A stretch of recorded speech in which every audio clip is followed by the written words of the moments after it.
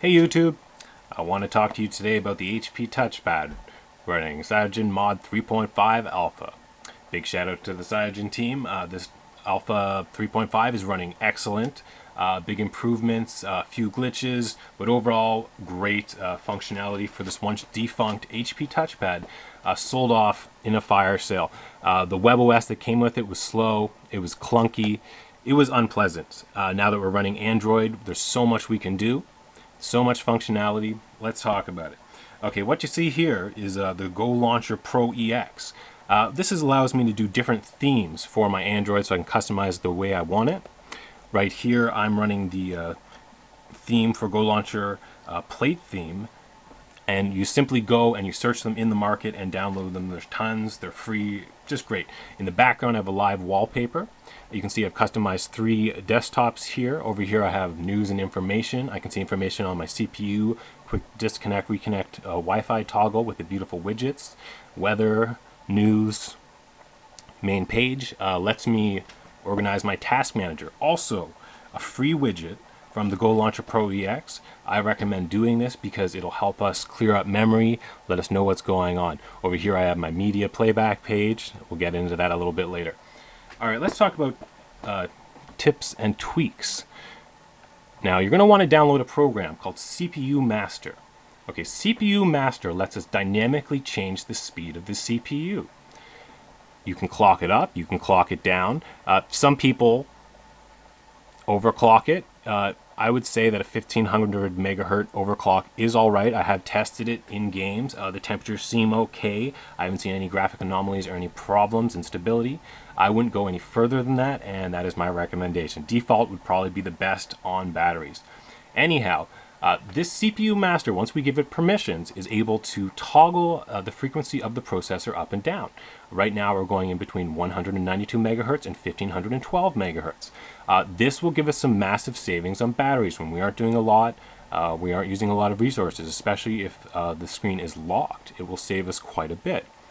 In addition to this, we have a related battery program.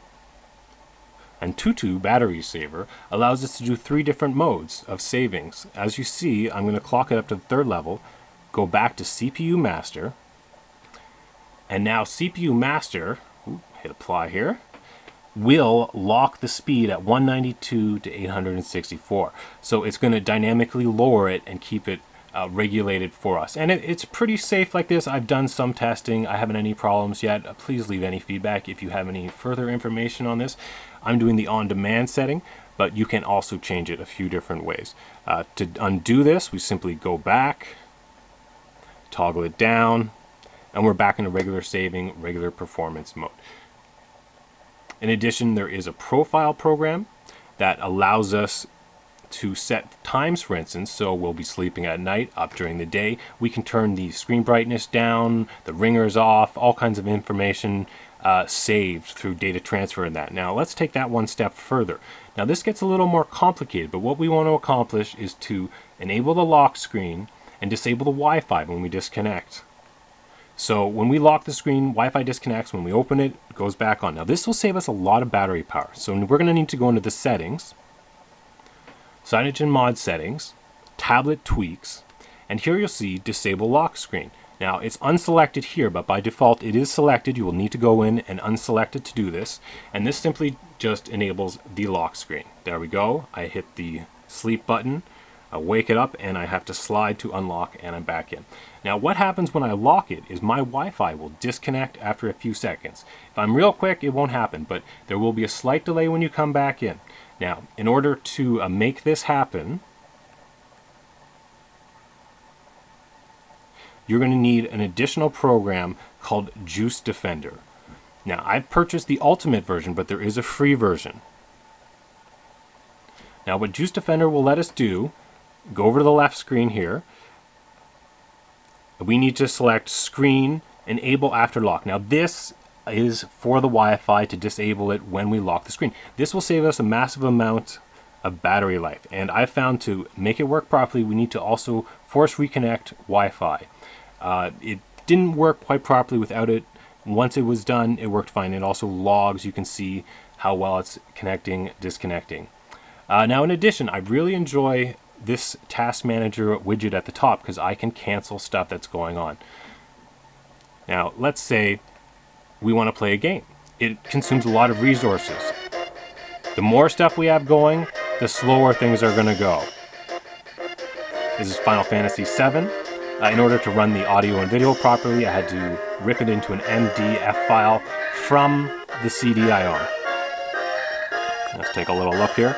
Lots of fun, uh, but very resource consuming. So anytime we run something, a game, we open a lot of you know web pages, we're going to want to kill the processes after to save on the memory.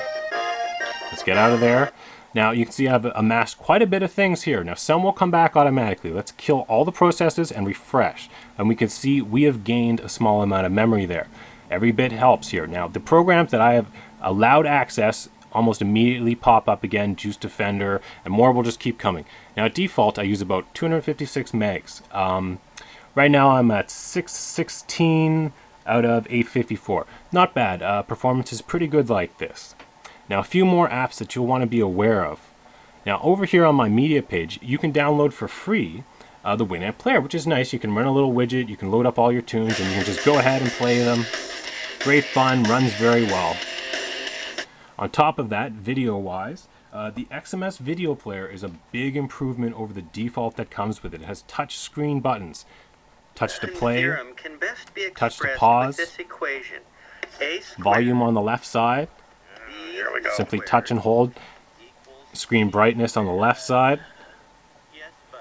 And toggle distance in the track. Very good, big improvement on what it comes with. Great software, all for free. Uh, last but not least, the Dolphin browser. It's very much like a Google Chrome. You can see I can open multiple tabs here along the top by clicking the plus button. Now what I'd like to show you here from my bookmarks on the side, which I simply pull out, is the live wallpapers page. Uh, now these wallpapers are mostly free on this website, and it's what you've seen me running in the background pretty much the whole time. Let's go to the uh, popular category. Uh, they have a rating system. You can just kind of check out what other people have gotten, what's new, what's interesting. Some very interesting stuff. Uh, quite easy to download and install. Let's find something nice. A simple little click. and download will link us to uh, the Google Android market and it's pretty safe no problems here just a little click one download and install away and it's that quick and easy now on top of this you can download additional themes uh, like unlike or like my own themes uh, you can customize it to your own personal taste a lot can happen here it's a lot of fun to just kind of get it the way you like it you can see I've set it up my own way right here Anyways, I hope this has helped you. Uh, this is 3.5a and is running absolutely excellent. Big shout out to the Cyanogen mod team. I've been loving this software. I'm going to donate $1. I would recommend everyone else does the same. Uh, we can get this running with ice cream sandwich. It'll be incredible. Anyways, big thanks to you guys. I hope you've enjoyed this.